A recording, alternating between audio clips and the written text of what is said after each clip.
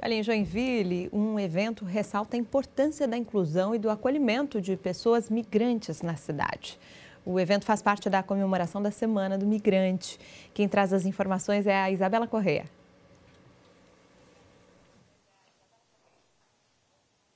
Pois é, foi uma semana dedicada de atenção a essas pessoas que moram aqui em Joinville e que aqui escolheram como a sua cidade, como oportunidade.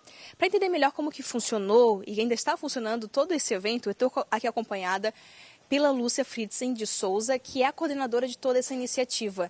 Lúcia, fala pra gente, ao longo dessa semana foi uma programação bem especial. O que, que vocês fizeram exatamente? Um bom dia. Bom dia, Isabela. Bom dia a todos. É, nós tivemos diversas programações, né? Rodas de conversas, oficinas, momentos culturais, para resgatar a, a cultura da, dessas pessoas que vêm de outros países ou outros estados ou outras cidades também, né? É, criar um processo de reinserção deles, de conhecimento deles do local onde eles estão e também de trazer deles poderem falar aquilo que eles já viveram, né? Então, falar da sua cultura, da sua vivência da sua família, é, trazer a sua autonomia, trabalhar o protagonismo deles, foi um pouquinho disso, assim. E também, até está na sua camiseta, né? Somos todos migrantes. Antes se utilizava um outro termo, imigrante, mas com o tempo isso mudou. Consegue explicar para a gente o motivo dessa mudança e o que, que significa hoje? Isso. Hoje se utiliza o termo migrante nacional ou internacional, né? Já não se utiliza mais o termo imigrante por dificuldade de falar e de entendimento mesmo. Então é um pouquinho disso, assim. E também o termo estrangeiro já não se, se, utiliza mais, né? Por aquele que é estranho. Não são estranhos, são pessoas como nós. É, nós, né? Quantos de nós são também migrantes? Eu venho de outra cidade de Santa Catarina, né? Sou migrante em Joinville. Então a gente olha ao nosso redor e Joinville é terra da oportunidade. Então muitas pessoas vêm de fora, né? É um, um pouquinho desse sentimento dessa semana também. Para finalizar o nosso bate-papo, Lúcia, como que tu vê a importância da ação que aconteceu nessa semana? Ainda hoje tem uma programação também de acolhimento a essas pessoas. É, até de repente algo que vocês ouviram delas, algum relato que te marcou sobre a importância do trabalho que é feito para acolhê-las. Uhum. É, ontem nós tivemos um momento muito bonito, né, da, da celebração da Semana do Migrante mesmo, é, onde as pessoas puderam falar um pouquinho dos sentimentos dela, desse sentimento de acolhida mesmo, é, em diversos momentos de sua vida, mas aqui na nossa casa também, né? E aí trouxeram isso de se sentirem confortáveis, se sentirem em casa, se sentirem abraçados, confortados e acolhidos no espaço, assim. E o quanto isso é importante para que retomem as suas vidas e consigam se interar, interagir com, no local que elas estão. Né? Lúcia, muito obrigada pela tua entrevista, parabéns pelo trabalho que é feito por meio da Diocese aqui de Joinville. Então, um trabalho muito lindo, foi uma semana especial e hoje finaliza com essa programação voltada a essas pessoas. Eu volto com vocês aí no estúdio. Obrigada, Isabela, ao vivo conosco. E seguem as comemorações do aniversário de Itajaí. Amanhã, inclusive, tem reabertura de museu e da Casa da Cultura. A Grace Zemel antecipa para a gente o que, que o público vai encontrar por aí, Grace.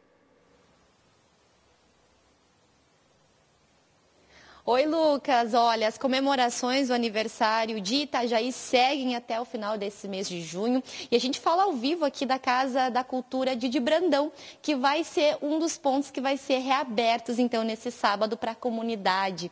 A gente vai mostrar agora em primeira mão para vocês como que ficou aqui esse espaço. Olha, olha só que bacana. Esse daqui é o teatro aqui da Casa da Cultura. Ele foi todo repaginado, foi trocado aquele assoalho, né, que fica ali à frente. O mobiliário também foi trocado, essas cadeiras aqui são novas, porque as que estavam aqui eram bem antigas, então foi feita essa troca. Também foi instalado, foram instaladas novas lâmpadas né, de iluminação, também o som. É, foram muitos os reparos que foram feitos aqui para atender a comunidade. Os trabalhos de manutenção aqui na Casa de Cultura começaram em julho do ano passado.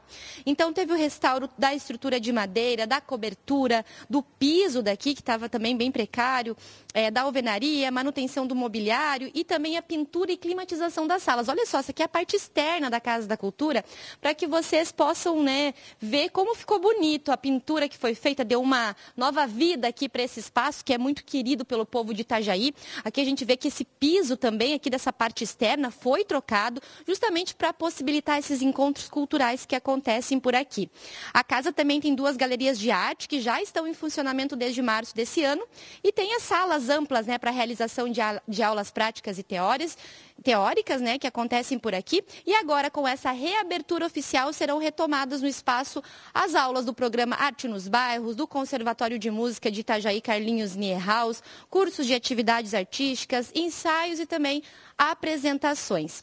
As obras, então, aconteceram em junho, é, começaram né, em junho do ano passado, agora esse espaço vai ser reaberto para o público e agora, nesse sábado, então, vai ter essa reabertura oficial. A gente percebe que essa estrutura para as apresentações que vão acontecer já foi montada, então, às três horas da tarde, vai ter um teatro infantil que vai ser ali no auditório que a gente mostrou do teatro, a partir das três horas da tarde. É de graça, o pessoal pode vir para conferir.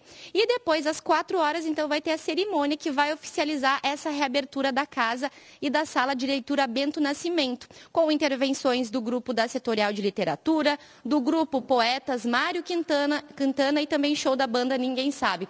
Essa daqui é uma das galerias que também agora vai ser, né, que foi reaberta para o público. Sempre temos exposições de artistas acontecendo. Então fica o convite para quem mora aqui em Itajaí região, que quiser comparecer nesse sábado, a partir das 3 horas da tarde, uma programação bem intensa que acontece aqui em Itajaí.